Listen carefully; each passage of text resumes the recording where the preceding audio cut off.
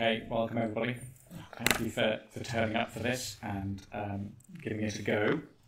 It, it's slightly free form, what we're thinking of doing. Um, uh, I'm going to start with a short uh, bit about thinking and um, just sort of set the scene, and then Mark's going to come up and follow that up with a quick chat, and then Rob's going to try and explain what we want you to do, because um, this is a collective endeavour. Um, but I suppose I want to start um, by really just talking about um, the theme of the conference. I mean, it's something I believe in passionately.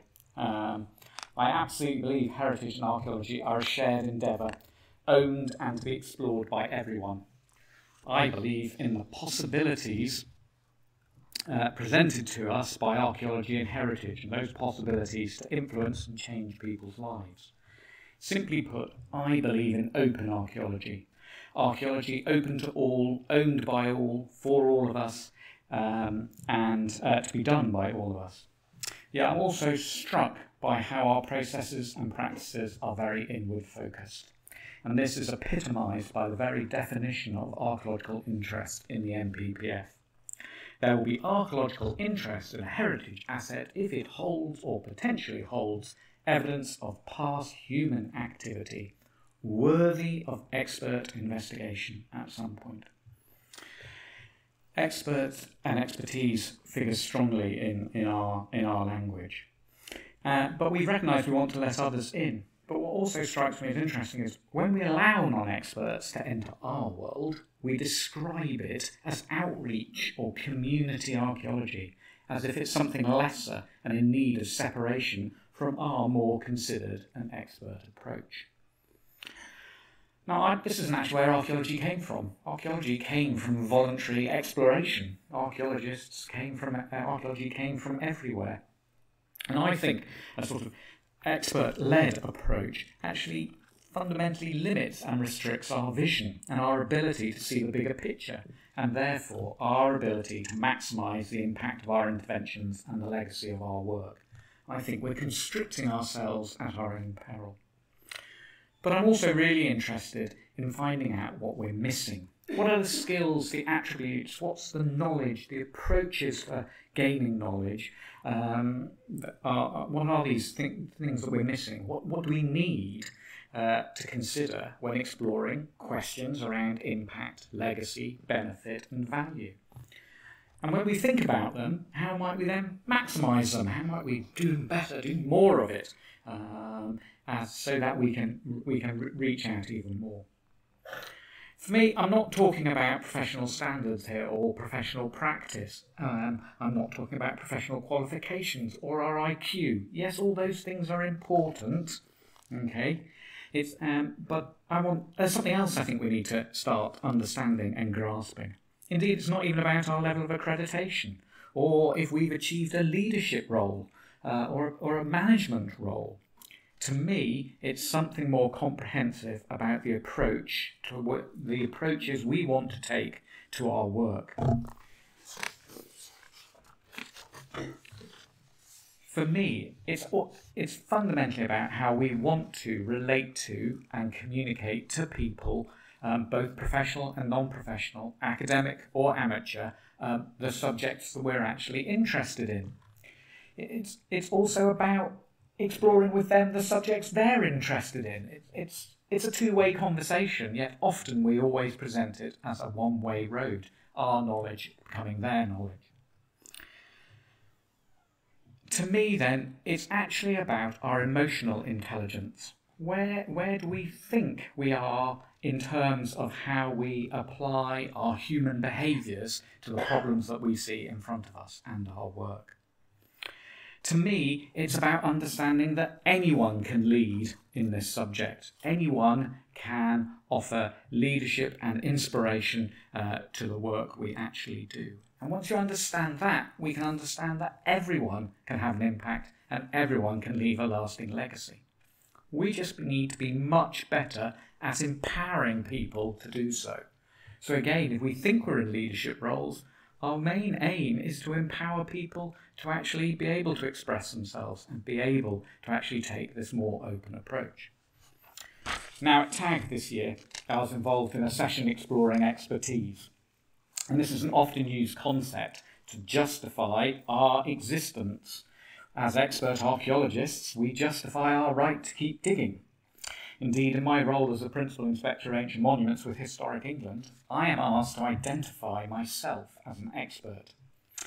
In our last restructure in 2012, when I was appointed to this post, I actually had to submit a statement of expertise in 100 words. It didn't do very well. I only got two out of five. Currently, we, Historic England, define our role as the government's expert advisors on the historic environment, and it is used to justify our, as in our organisational, existence, and in part to maintain our funding. Now, as an organisational decision, I'm actually fine with this. Um, you know, it's a really pragmatic decision for me. I can understand it. Indeed, my job and my own livelihood depend on it being successful because I'd quite like to carry on working for my organisation. But what about this in terms of me as an individual, uh, me as a heritage uh, practitioner? If I believe in a non authorised heritage discourse, which I do, if I believe archaeology is a process and not a thing or a product, which I do, if the stuff in the ground is just stuff in the ground until we ascribe it different values and call it archaeology, which it is, how do I have an impact? How do I approach my work to widen its scope, its benefit, and its value? How do I look to create lasting legacies? Now, within this, I'm very well aware that um, in being identified as an expert, to have expertise in archaeology and the historic environment actually adds weight and, dare I say it, authority to the advice and decisions I make. It also cuts across the inclusive and democratic approach to heritage I believe in. So, how might I reconcile these conflicts? Well, as in most of my life now, I, I, I look to outside influences to try and help me and help my brain work. And in this instance, I'm actually going to look towards the movie Ratatouille and the story of a chef, a rat, and a critic. Award winning chef Gusteau maintains anyone can cook. Critic Anton Ego pours scorn on this idea until he has cooked a meal by Remy, a rat. It is at this point Anton Ego understands what Chef Gusteau meant. Whilst not everyone can become a great artist, a great artist might come from anywhere. Now, this is a really good analogy for archaeology and heritage. So, whilst not everyone might become a great archaeologist, a great archaeologist might come from anywhere. How do we find this? But I'd also like to add my own perspective on this and my own interpretation uh, on, uh, on this idea. And I would say, whilst not everyone might become a great chef, everybody can actually have a go at cooking. So, whilst not everyone might become a professional expert archaeologist, a great archaeologist, anyone can have a go at it, anyone can participate, and anyone can help define it. Indeed, in terms of the ratatouille, not only was the chef, Rene the rat, different, but the food he produced was different too. Who did the cooking changed, and so did the content of what was cooked. Imagine that in archaeology. By letting people in, we might actually create a better output. There also seems to be a more fundamental shift in how we understand our role and profession here, in that heritage is a collaborative process. It's a process that needs different ways of knowing and different ways of doing. Formal research based knowledge is an important part, but only one part of our recipe. Yes, I know I'm refer- mm. returning to the metaphor. But more than that, doing it collaboratively with people means heritage is different. It's richer, it's more dynamic, it's more sustainable. But also, I need to challenge this because in my ratatouille formula, there is still objectively a great cook. It's just that anyone can be one, and that the critic, i.e., an expert like me, still defines what a great cook might be. Now, this is a role I'm often, and many of us are, often asked to play. But it's actually a role I really always want to challenge. And I want to challenge whether actually being a great cook is more important than just cooking, i.e., doing it, having a go. We've all got to eat to live. Understanding this paradox, great cook versus cooking, helps me reconcile the conflict. Uh, uh, the conflict I have of being identified as an expert, and it helps me work to a more democratic and inclusive heritage discourse and practice. To me, expertise is a combination of knowledge and skills. They form a philosophical framework in which I try and work, and it is this approach that allows me to open up what I do for others. This is important to understand what this orientation to an expertise enables me to do in terms of democratizing heritage. But best of all with this approach is we all have the power to add to our knowledge, and I really hope mine will always be incomplete. I want to learn more. I want to always be curious, inquisitive, creative. I want to listen to others, to hear their stories. How I use this knowledge I gain, how I apply it, are my skills. And yes, whilst I do hope I'm good at what I, I do, I can always do it differently. I hope I can always do it better, listen better, seek to improve my skills. But in this sense, I actually want to be work in progress to the day I die. So actually, to define me as an expert is really problematic because I'm not. I actually don't know everything.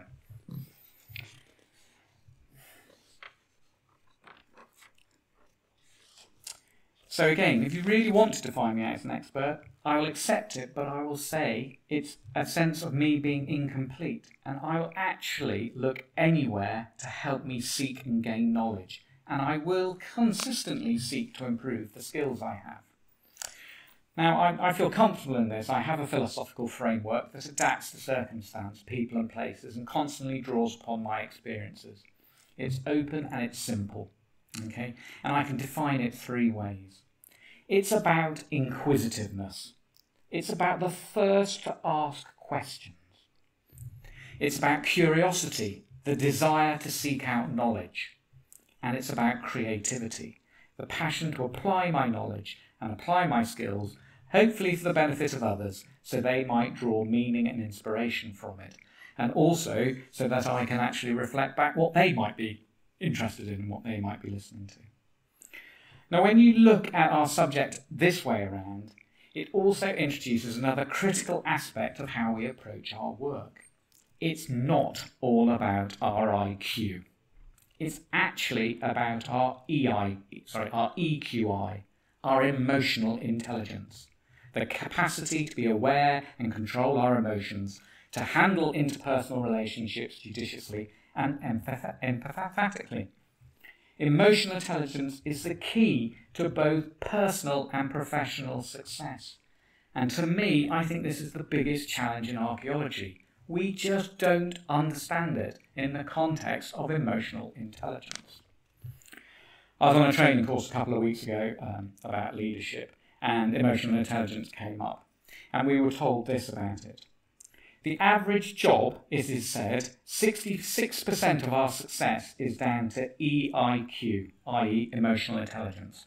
33% of success is down to our base IQ. However, in leadership roles, this changes to 85% for EQI and 15% for IQ.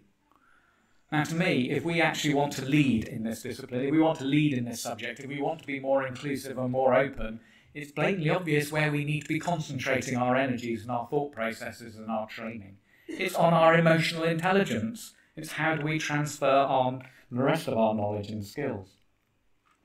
So, as I said earlier, everyone can lead, and I passionately believe everyone in this room is a leader. Then, if that's the case, we should really focus on this emotional intelligence question. To me, it's the key to archaeology and heritage delivering a more open and inclusive approach, but one that truly captures the theme of this conference value, benefit, impact, and legacy. And it is this issue, it's emotional intelligence, those aspects, those facets of it that I really want us to explore. Oh, just, sorry. Oh, that's a, that, that's worked well, hasn't it? Uh, that was supposed to be a really good slide showing the 85%, but I will just uh, skip over that one. Okay, so it's this, is this, is this aspect that I really want us to explore, and then we, we're looking at this in, in this session about what makes the ideal archaeologist, okay, from the perspective uh, of, of, of the conference themes. And um, this has been a conversation that um, I've been having with Rob Lennox and Mark Spanjer. And one of the things we just wanted to do was almost just sort of create it into, into a conversation. So what I'm, I'm going to do now is I'm, that, that's all I want to say at this point. We are going to have a really open and discursive session later. But what I really want to do now is just... Oh, uh, this is why. I forgot it actually had animations. So that 33% IQ, see how good I am, can't you? Six 66, all kinds of jobs and leadership roles, 85% EQ. Okay? But what I really want to do now is just ask Mark to come up to the stage and effectively lead you through a chat. Now, Mark specifically asked not to frame this in any way, um, and the only thing I wanted to say about this is Mark is going to express one of my uh, emotional uh, requirements for us that I think is a really good one, which is spontaneity. So, Mark, over to you. Imagine there are five or six of us in the pub, round a table. Yes, I know it's a bit difficult. If you don't like the metaphor of the pub and you're not into pub culture, let's say this is one of these summer nights. You have the, the hefty part of the party is gone. There is small campfire there, the sun is going down, you're mellow, and you are getting into touch with who you think you are. You are experiencing life. And there's a campfire there, so take the edge of the, and it's, well, it's not too high so you can see and you can speak. Again, five to six people. So I'm asking you to sort of remove, put yourself in the center and remove quite a lot of people around you. And I would be there, you would be there, Rob would probably be somewhere else uh, behind us doing the same thing. But, uh, and uh, so there we are. And the question which comes up is, uh, oh, what, are you doing? What is important in your life? And that kind of thing. And I would probably begin by telling you, seven years ago, I became ill. Not a good start of a story. But, I was sitting behind my desk being an expert being a successful archaeologist. I even got a car from which I could use from the company, was reasonably well paid, first edges of the crisis were there, and I was hit by a truck. It's called a burnout. And if you think that burnouts are a sort of lovely kind of, oh, you sort of routine, I was physically unable. It was there, and mail comes in, I think I have to react. And from that moment on, I can almost point to the second exactly, I was not able to touch my computer. I could not even push the on and off button. And I being in control. I'm being rational, I'm an expert, I'm a project manager. At that stage, I even could be called the head of archaeology in Europe for Arcadis already. So I was, all the titles were there. So I went to my, my doctor and I said, um, well, I've been through this process with others, so I do this and this and this and this. So I was in charge, being rational about it. Okay. Sounds good, Mark. You go. And I go back to the office and do my half an hour thing. I didn't, was able to do half a day of work, uh, being in the office alone, and then I was hit again. My body told me essentially, shut up, Mark. We warned you kindly for many times, we warned you a bit harder, now we're going to, we'll really make you suffer. And you're there laying in your bed, and you're thinking, where's my life? I couldn't think about archaeology. And then you start sort of, well, building yourself together. It's called therapy. And of course I was one of these rotters which didn't fit into the normal pieces of therapy, so they sort of think, well, just Mark must have chats. Every week Mark comes along and have a chat. And then slowly you start to, to, to tell to yourself that you're not happy with archaeology. It's not only archaeology. Let, us be honest, I my wife was ill, uh, mom and dad died, uh, all kinds of things. So, but in the mix, the one thing you think is keeping yourself up, which is your, your love and attention to, to archaeology, is failing.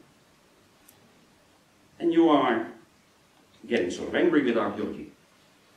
Giving it all and you've been responsible for the good of the public, etc., etc. Of course you were paid for it and, and you are thinking, is this all? It's called a classic midlife crisis. There was a distinct lack of motorcycles. I didn't run away from my wife with a younger woman or whatever, or man, or whatever, whichever your taste is. Uh, but it was a classic burnout. And then you start sort of thinking, and I'm teaching as well, uh, a bit more now than I was then. And then I realized the burnout's getting sooner and sooner. I'm teaching a lot of my students, and I will not get numbers on it, but a lot of my students have had a burnout before they come to university. A lot of my younger colleagues, 10 years, 20 years younger than I, archaeologists, good archaeologists, are having burnouts. They cannot perform the thing they love. What's happening to us? And at the same time, you, then you do the uh, You do the right thing, you become a member of this institute, you tick all the boxes, you are responsible. what is in it for you? What is the legacy you're building for yourself? What is your, your social and emotionally investment? Well, you're sort of on the mend. And then you go to, uh, uh, to CIfA in, in Cardiff, it was, if I say right, three years ago, four years ago. And you go to the session on the glass ceiling as it was called. And female archaeologists told us, it was before the Me Too thing, what happened to them on, on the basis of mistrust, not being able to work in archaeology, sexual harassment. I, I never even had, till that point, thought that that would be possible in archaeology. I had a very rosy, tinted idea of, oh, we archaeologists, we are sort of the good guys. No harm will befall us. We will walk hand in hand into the sunshine and that will be lovely. It was not. I had to force myself physically to go back into that session. I knew I couldn't walk away from it, but I was physically ill that day. That was not the archaeology I wanted to be in. And at the same time, the amount of people telling me, knowing that I was ill, that they were unhappy in archaeology was growing. So what do you do about it? You cannot really change yourself, so I was again thinking leadership and whatever. So you start discussing this and you're thinking, what's the solution? And the first instant is, uh, let's call revolution. Huh? We, we, all, we burn the whole stuff and we do something different. Well, that's not very realistic. Uh, will not happen. But you're thinking, what, is, what's the word? What makes me happy? And some of you kindly remember the, the last days. Two years ago, I, I went out on a limb and I, I had this whole idea of the archaeology of happiness. What makes us happy? And who will let us make ourselves happy? Who's going to pay that for me to have a jolly good time? Who is going to allow me to have fun, to, to emotionally attach to these things?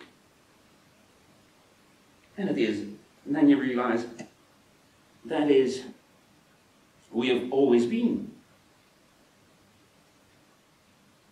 It took me two years in therapy before the most obvious thing someone ever told me is, Mark, this storytelling you're always harking about, eh? what is it for you? And I said, well, this is sort of an appendix. I can, do without it, and uh, it's painfully probably to, to get it out, but uh, yeah, it's sort of a nice add-on, sort of a sauce on, on all the things I do. And then your therapist, he had a sort of get a, a, grip on me and she looked at me and said, is that really true? And then I repeated this in a different form. And suddenly it hit me. It took me more than 40 years to realize that storytelling is the core of my being. And I was being serious and I arranged things and I was a good project manager. But in heart, in essence, from as long as I remember since the age of 10 or earlier, I have been telling stories. And then you're thinking back, and And you realize 15 years ago, I'm, I'm one of these, these relics here who come here. I've been here for the last 18 years. And 15 years ago, we were discussing in a bigger room than this, what is it to be an archaeologist? And there were all great kinds of definitions. There was this whole togetherness there. And I had the temerity then to stand up for the first time in, well, my English was quite good, but not that good to express. And I said, but in the core, are we not storytellers? And it was shouted down. There was a sort of almost physical revulsion in the, the at that time of, no, no, Mark, because li literally said, uh, that's not who we are. We are much more. We and then the whole list comes. You know the list, and it's uh, and I do believe in the list. Helpful archaeologists sort of in afterwards came to me and sort of explained that we were much more. No, no, it was not that simple storytelling. If we ask the question now, 15 years on, and say, oh, what's the core being of an archaeologist? Gosh, the world has turned. Almost everyone says storytelling. That's strange. Nothing ever changes in archaeology. 50 years ago we thought that is not that big. And now we are saying that's the core of our being. But then I realized that storytelling, oh, it's fine by me. I'm a winner again. I'm a storyteller, so therefore storytelling is important. So one plus one makes four, or six, or even eight. So hooray, I'm saved again. But a lot of people in our profession are bloody scared of this storytelling thing. Suddenly they have to do things where, which they're not trained. Suddenly they have to be on a different footing. Suddenly they have to be in surroundings where they're not in command of things. Suddenly they invite comments and that kind of thing. That's scary shit. Suddenly you are vulnerable, especially if you're not trained to do this kind of thing. So I could call the new dictatorship quote of my earlier session uh, in this conference and, and say this is the time of the storytelling.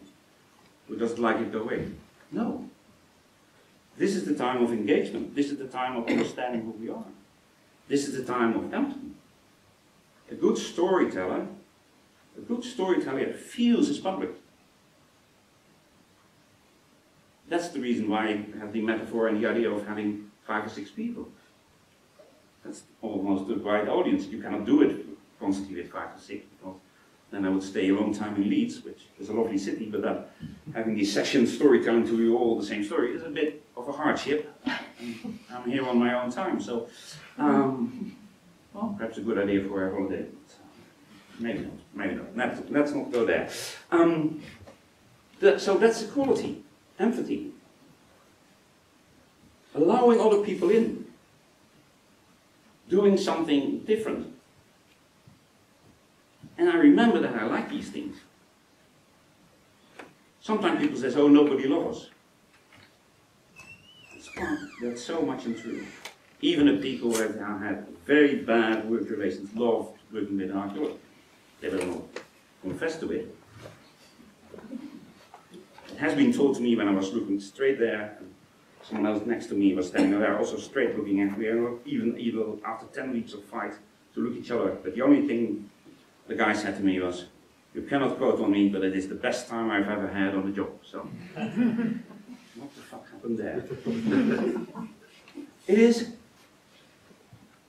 it is much more. It is making sense of the world.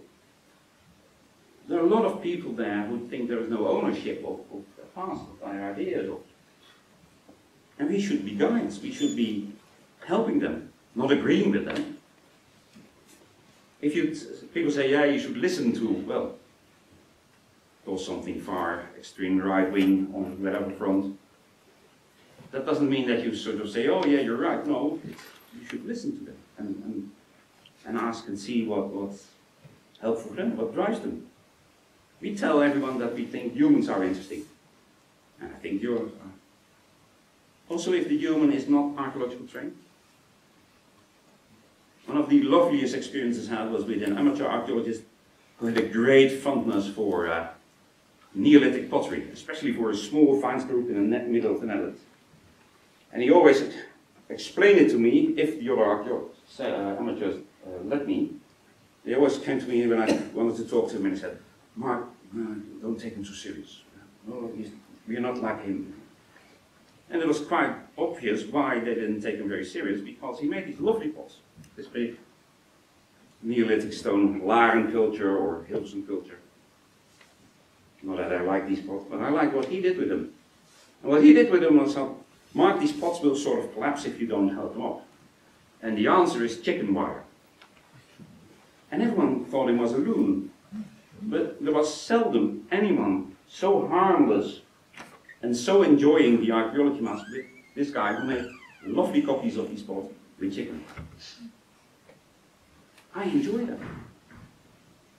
I enjoyed being arrested by Dutch police for breaking the monument law. That could be a scary thing. Well, I was in the right, I had lovely talks with all kinds of people, and I explained the law to them. That's a good moment in your, in your career. and you have to uh, explain to the police what the law is. That's adding value. It's fun. Perhaps not fun for all of you, but it is fun. It is engagement. I don't mind if people, especially in an urban site, and I hate these, these shields or whatever, I like the nonsense being thrown at me. So many people think the Christian is bad at it. people ask you, did you find gold? And my standard answer is, yes, and it's now in my pocket. and having a sense of fun, having engagement, being part of an organism bigger as, that is what it brings us, an honest interest in other fellow human beings. That is what will make us free in a sense. Why will it make us free? Because everyone likes to have a good time. Everyone wants to be part of the fun group. And what's the fun group? Well, the people who at least are saying that they're fun. And you can have a bloody fun time doing activity. Especially when you share it. When are we the most happy? I've told before, when we are in a group around this campfire or in the pub or whatever, and, and telling, telling the stories. We're not talking about, uh, did you see this, this housing thing there? No, that, that's the early part of the evening. And then we sort of tell all the wonderful things we found. But then the stories come. Our subculture. And the most important thing we can give to a lot of people outside of our is letting them in. And I was sort of preparing this, uh, preparing in the time that I thought I would prepare this and I have something, the classic thing. There's a reason why I decided to sit down here. I could stand there, but then the narrative changes. I would love me to have been sitting there with my knees over it, but then they cannot see me. I truly want to have a closer engagement with you. You have been very kindly listening to me, but I, there is this, this hope in me that someone will raise a hand somewhere in the middle of my talk and say, Mark, you're sprouting utter nonsense. Or you can tell a bit more about that, or engagement. And then I realized when was I the most happy in archaeology? Uh, archaeology. And it was probably, probably when one of these cars, I had these lovely Ford Fiesta sports ones, which I had a few well, tickets and some nice conversations with the police. Uh, my, my juvenile part of being a driver, let's say. And in that car, I had one of the best times ever. And I was sitting there with my colleague Jan Bresser. And nobody here knows the, Jan, the name of Jan Bresser, and I can't even tell you, you cannot find him on the internet. And probably in, at that stage, I'm talking 15 years ago, he could not have made a practitioner uh, grade of this institute in the way things were there. But Jan enjoyed being with archaeologists. Jan was this ridiculous figure in the sense, in the kindest sense of the word, that could have lived from his art. If Jan wanted to have money, he went in the weekend to his atelier, which was just a shed, and he splashed some things there, and then he found someone, and they gave him a few hundred euros or whatever, or guilders at the stage. He could have made much more money doing archaeology. He wanted to be with archaeologists. And he had an emotional attachment to it. And I sat there in this car and it rained and it rained and it poured. And you, you have this first you're thinking, oh gosh, where's my time going? Oh, I have to finish this. Cannot see anything. Oh, it's all bad, it's all bad. And then, yeah, in the end, you cannot for hours and hours stay thinking about how bad it is. So you get in a sort of an acceptance mode, and you get to the, to the mellow stage. And then you talk about with Jan about the law of ability. What drives him, what makes him tick. Why for all these years he was, he was there. He could have been a great artist. Why was he around us? Why was he not earning three times as much money? Why was he so satisfied? And the only, only time I walked away from a decision as an archaeologist was when I was sent out by the, nobody there to say to Jan, we will not hand draw pictures anymore. We will not hand color them anymore. And I, I was sent out to do the dirty work. I felt like a sort of a mafia hitman. So I went down there and I said, Jan, I'm very sorry this is over. And he had this drawing there, these, these big Dutch style A0 things, and totally hand forward, and he could do less the best. And it looked wonderful. And he stood next to me and he, it was as if I, I hit a dog or something, something like that. It sort of totally crumbled. And then he only said, but there's such beauty there. And I collapsed mentally. And said, yep, you're right, go on. And I went back to uh, the people who sent me and I said, I cannot do it, do it yourself. And Jan colored to the end, very inefficiently, very non-commercial archaeology. And if I had a chance to sort of rip out one of his drawings from the National Archives, I would do it. There's beauty in, in our profession. There's beauty in the meeting of other peoples. And there is lots to gain if we are able to, well, connect with the emotional side of things. You can be unhappy in archaeology, but you can also connect to the things which make your heart sing. I advise anyone to go on the journey and sort of form archaeology towards a, a happier place for all.